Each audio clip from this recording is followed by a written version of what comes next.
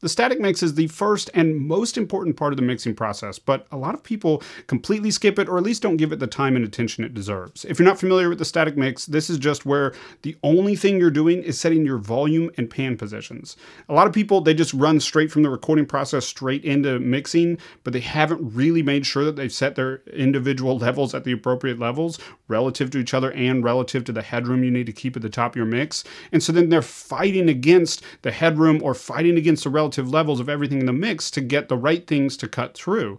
They are basically shooting themselves in the foot before they even start mixing. And beyond that, if you haven't really set your individual volumes and your pan positions appropriately, then you don't really know what you need to be doing in the mix. Once you've set your volumes, you can kind of get into the mix and figure out where things are getting covered up. And you might need to use EQ to help bring them out or to maybe remove something from something else so that everything can be clear and full and present in your mix, or what kind of effects you want, what levels those effects should be. If you haven't set your individual volumes at the levels that they should be, then all you're doing is individually processing tracks kind of randomly. You might get your kick drum to sound great on its own. You might get your acoustic guitar to sound great on its own, your vocal to sound great on its own. But when you put everything together, it doesn't actually work together because you just worked on them individually. Getting your static mix set first allows you to jump into your mix and really figure out where those issues are and then address those as opposed to just randomly making individual elements in solo sound better, but not everything sound better altogether. So the static mix is incredibly important and it's something that you need to put your time and attention to. And in today's video, we're gonna go through an entire static mix together so you can see exactly how to do it. This is the first video in a six part series where we're mixing a song live together I'm going to go through everything where you can watch over my shoulder and see how I go through this process. And if you don't know what I'm talking about at all, then definitely go check out this video I'll link to above here where I walk through the six steps to a Pro Mix inside Logic and you'll understand how all of these pieces go together. Today we're doing the static mix, which is the first step. In the second step, we'll do some top-down mixing or master track processing as I call it. The third video, we'll start EQing individual channels. Fourth video, we'll compress individual channels. Fifth video, we'll start adding some effects. And then finally in the sixth video, we'll do a little bit of automation to fine tune everything to be exactly the way we want it to be. And before we even get into it, I want to give you something. I've put together all these steps in an easy to follow checklist. It's a six step checklist to a Pro Mix from the link in the description below. If you just go through it, it goes through the six steps that all professional mixes have that we'll be doing throughout the series. So the next time you're mixing, you can just pull that up and easily, quickly reference it so you don't have to keep coming back to these videos. Okay, let's go and jump into Logic and start on the static mix. Now, before we start the static mix, there's three things we need to do. The first is remove any pre-mixing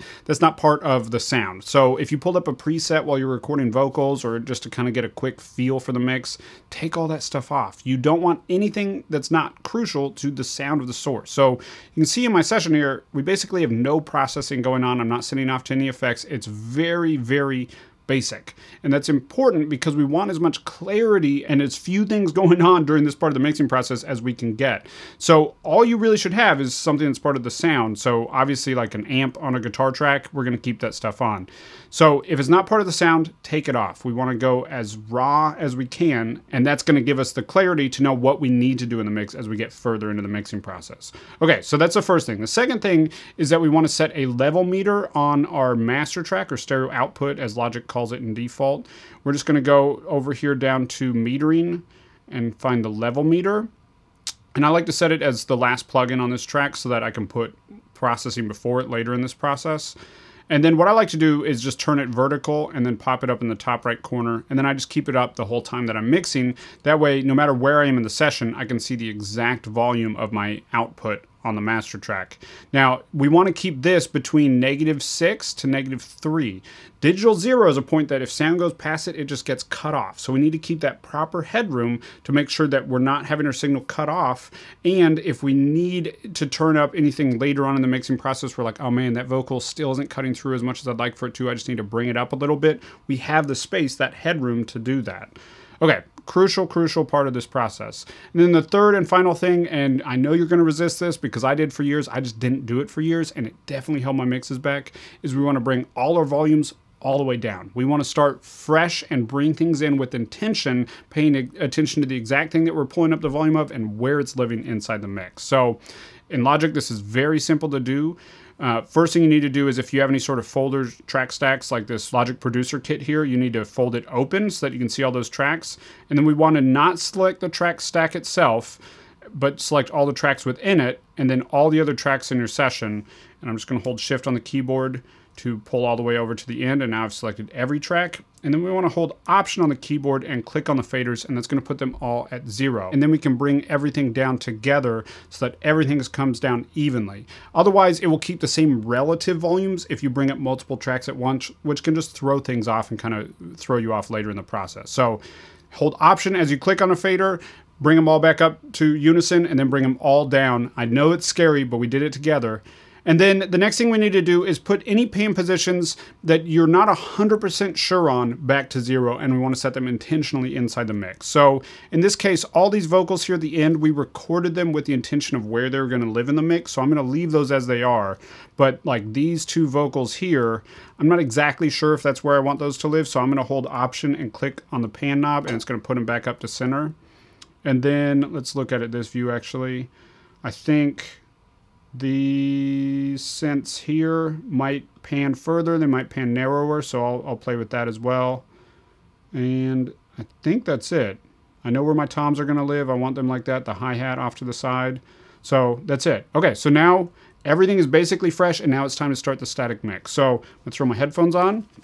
With the static mix, as I said, we want to keep negative 6 to negative 3 headroom at the top of our mix, and you want to bring in the most important things in the mix first, which for most pop and rock songs, your vocal, your kick, and your snare, and then if you have a lead synth or lead like guitar line that is really important, you want to go ahead and bring that in as well. For us here, it's just going to be the lead vocal, the kick, and the snare. And you want to make sure that you're doing this in the loudest section of the song. So in this case, we're in this kind of big bridge area. This is technically the loudest section of the song, but typically it's going to be your last chorus or your last part of the bridge. That's going to be your loudest area. So somewhere near the end of the song in most songs. Okay, we've set that to loop. Now I'm going to let it play. I'm going to go back to the lead vocal here and bring Baby, it up to unison. And then I'm going to go up to the drums Baby, and start bringing in the kick and the snare for you. Bring this down a little bit. Baby, it isn't all. Bring up this snare top Baby, and bottom. It isn't all. Baby, we're not on call. It's feeling pretty good, but notice that we're already at negative 3.6 and I only have basically three elements in, kick, snare, and vocal. So I'm going to select all these tracks here, the kick, snare, and uh, the vocal down here and we're just going to bring it down right now. The vocal's at zero, so I'm just going to bring it down three decibels, so it's negative three, and that will give me somewhere around negative six. Baby, so again, now we're in a nice safe level over baby, here. Let's go and bring in the overheads. Baby, the tom here, the low tom. Baby, Let's go to a section that has a little more toms on it. And now you're saying you're proud, yeah, you're saying you're proud. I kind of like loud toms personally. We're all getting sick of it, yeah. Let's go back to that section. Proud, yeah, drum room. Drum room is a huge part of the drum mix. It, yeah. Let's bring up this grit track here.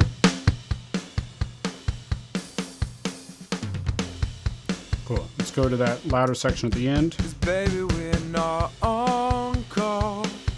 Those drums feel good to me. I like the sound of that. The grit track is adding a lot. Let's go and uh, bring in this tambourine real quick. Let's bring in this bass bomb. It's just like a sub hit. Let's do that one more time. Cool. And we're still safe on our meter there. And then let's bring in this digital drum.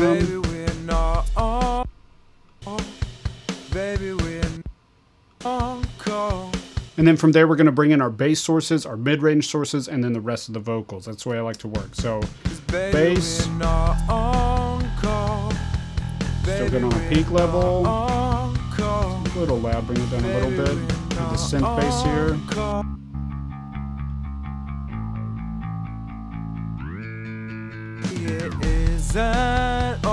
It's a fun little trick. I've recorded this already and I wanted it to go up an octave, but I hadn't recorded it that way.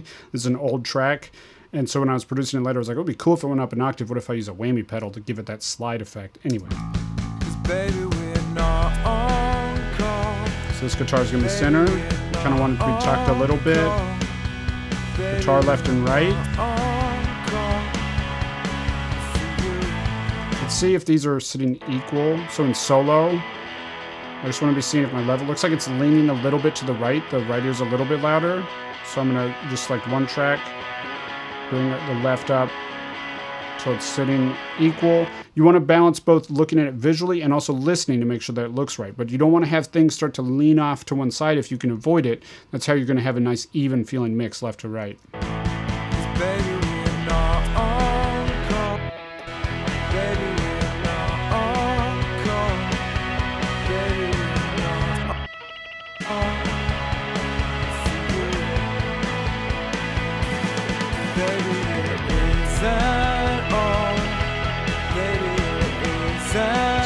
Relative levels. Cool. Let's go to a section that has this little guitar lead tails. This is from an old demo and just sounded cool blended in with the lead, the new lead.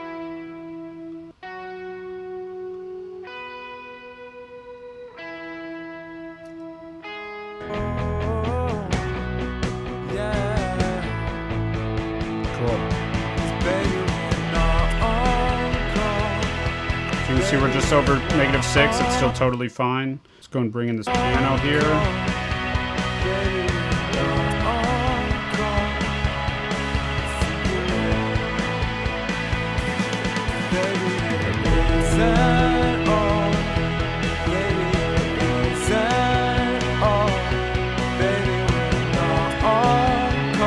Cool. And then let's bring in this left and right element here. These are meant to be kind of balanced against each other.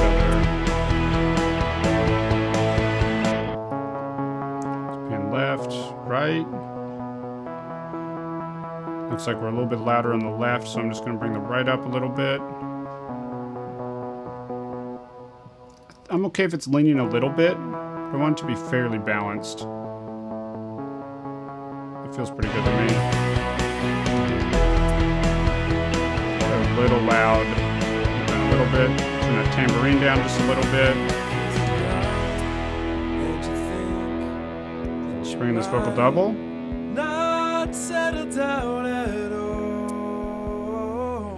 Let's listen to another area with the vocal double. Instead of crying at the table,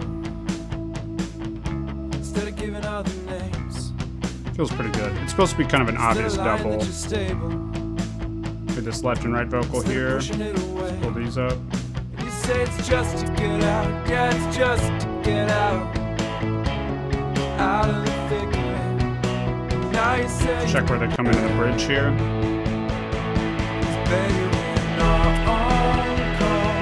That goes away.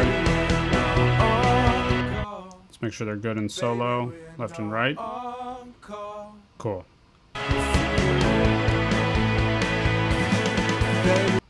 Bring in the lead vocal and this low. Let's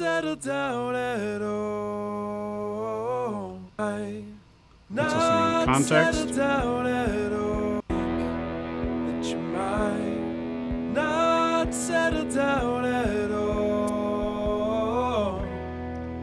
This is kind of a cool, this is recorded like from the other side of the room, so it kind of has a bit of a room sound. Let's try playing off to the right just a little bit. Yeah kind of dig that. Helps it stand out, cuts a little bit better. Helps separate it from the lead vocal. Yeah. Cool. And then down here, we have the chorus vocals. So we're going to do these in solo. I'm going to bring up the lead vocal. What I want to do is get a good balance across all of these, and then I can adjust their level up or down in the mix. So, But get the balance relative to each other in solo. Have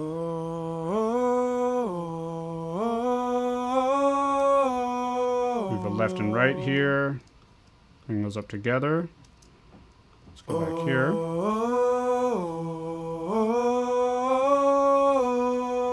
Feels pretty good. Let's go and bring in these here. This is again kind of like that far room sound. So he's singing at the wall faced away from the microphone to give it a sense of space. Go and solo these all together again. A couple harmonies here. Let's bring these up.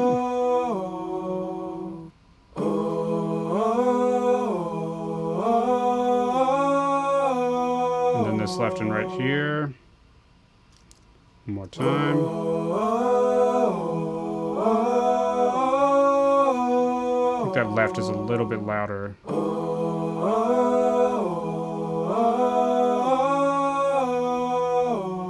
Feels good to me. Okay, let's listen to the context now. A little bit hot in general. I'm select all of them. Bring them down just a little bit. I actually really want that lead guitar line to be kind of equally prominent to the vocal line.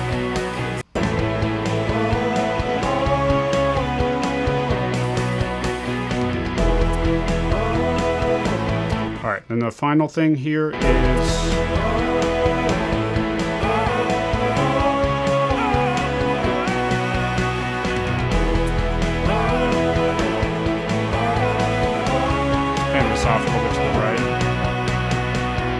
I kind of want this one to feel far away, so I want it to be lower in the mix. Quieter gives us a sensation or perspective uh, that it is further away. So let's check that out.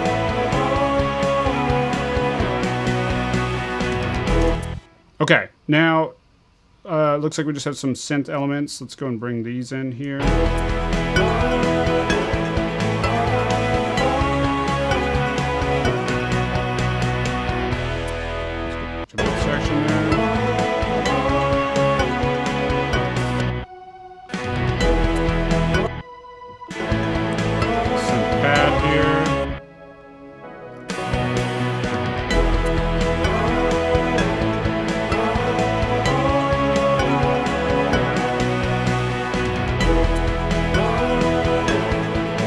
If you're ever not sure if something is at the right volume, try muting it and seeing if you notice it disappear. Something like that that's kind of supposed to be tucked, but we definitely still want to be getting kind of that fullness from that synth.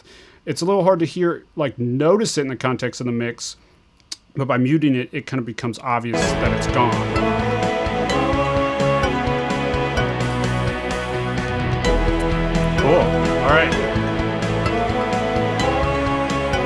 You can see here we're at negative 4.4, so we're still in that safe range, negative 3 to negative 6. But let's say you got a little bit past, let's say you're at negative 1, uh, you hadn't hit digital 0 yet. You could bring this entire mix down without grabbing every fader by going to the top here, going to utility, adding just a gain plugin, and then just bringing this down here by a couple of decibels. In our case, we're safe where we are, so I'm gonna go and take that off.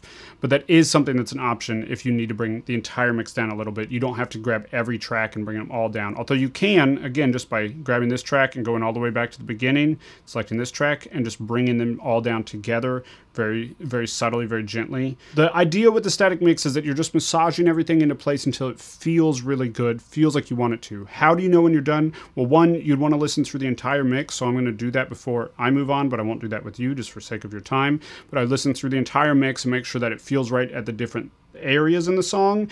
And it's okay if it's maybe a little quiet here, a little loud there, as long as the overall feels really good, uh, because we're going to automate some stuff at the very end, and compression is going to help address some of those disparities in volume.